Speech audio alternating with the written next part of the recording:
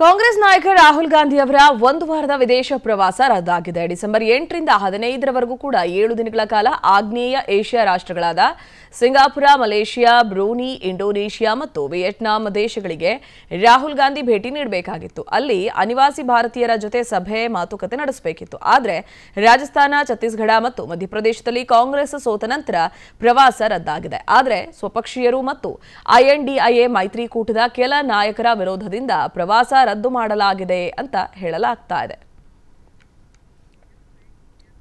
ಕಾಂಗ್ರೆಸ್ ನಾಯಕ ರಾಹುಲ್ ಗಾಂಧಿ ಅವರ ಒಂದು ವಾರದ ವಿದೇಶ ಪ್ರವಾಸ ರದ್ದಾಗಿದೆ. ಡಿಸೆಂಬರ್ ಎಂಟರಿಂದ ಹದಿನೈದರವರೆಗೂ ಕೂಡ ಏಳು ದಿನಗಳ ಕಾಲ ಆಗ್ನೇಯ ಏಷ್ಯಾ ರಾಷ್ಟ್ರಗಳಾದ ಸಿಂಗಾಪುರ, ಮಲೇಷಿಯಾ, ಬ್ರೂನಿ, ಇಂಡೋನೇಷಿಯಾ ಮತ್ತು ವಿಯೆಟ್ನಾಂ ದೇಶಗಳಿಗೆ ರಾಹುಲ್ ಗಾಂಧಿ ಭೇಟಿ ನೀಡಬೇಕಾಗಿತ್ತು. ಅಲ್ಲಿ ಅನಿವಾಸಿ ಭಾರತೀಯರ ಜೊತೆ ಸಭೆ, ಮಾತುಕತೆ ನಡೆಸಬೇಕಿತ್ತು. ಆದರೆ ರಾಜಸ್ಥಾನ, ಛತ್ತೀಸ್ಗಢ ಮತ್ತು ಮಧ್ಯಪ್ರದೇಶದಲ್ಲಿ ಕಾಂಗ್ರೆಸ್ ಸೋತ ನಂತರ ಪ್ರವಾಸ ರದ್ದಾಗಿದೆ. ಆದರೆ ಸ್ವಪಕ್ಷೀಯರು ಮತ್ತು ಐಎನ್ಡಿಐಎ ಮೈತ್ರಿಕೂಟದ ಕೆಲ ನಾಯಕರ ವಿರೋಧದಿಂದ ಪ್ರವಾಸ ರದ್ದು ಮಾಡಲಾಗಿದೆ ಅಂತ ಹೇಳಲಾಗ್ತಾ ಇದೆ.